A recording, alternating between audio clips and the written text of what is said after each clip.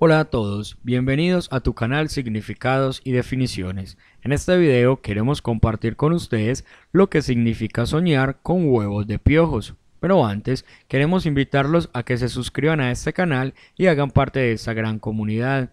Un sueño en el que ves huevos de piojos es un signo de buena suerte en tu vida.